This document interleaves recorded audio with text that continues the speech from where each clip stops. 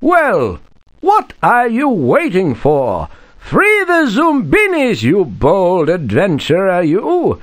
Can't you hear them crying to you from Zoombini Isle? Free them! Free them!